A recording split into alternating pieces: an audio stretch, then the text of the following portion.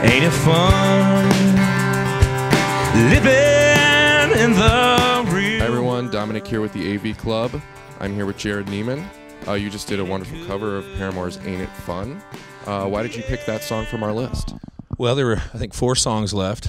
I see. And we had a, a Lionel Richie tune, which I was leading towards because you know he's had obviously a lot of uh, influence in country music, writing Yeah. songs for Kenny Rogers and many other artists. But Hayley Williams of Paramore lives in Nashville, so I thought I would just uh, it just felt natural. Yeah. What do you think of the song and like its sort of message about growing up and kind of coming to terms with with your responsibilities as an adult?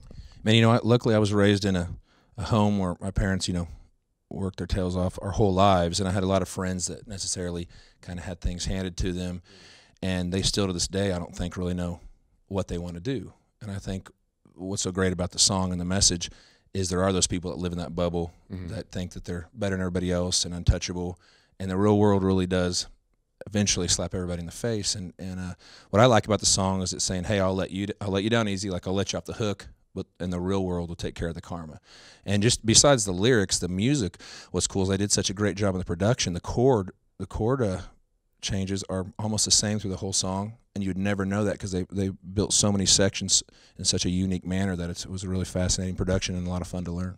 Yeah, it's a very interesting song. I think how it builds too, like towards the end, and you you definitely channeled that same energy, which I thought was great. Well, we thought what we'd do is uh, drag it into our world a little bit, and uh, Tim Teague, our guitar player, has a an acoustic B bender guitar, which is really, really, really rare. We had never seen one before, and we kind of had it built, and uh, so it was fun to just put our heads together and try to come up with our, our own version of it. So you guys have a new single out, "God Made a Woman."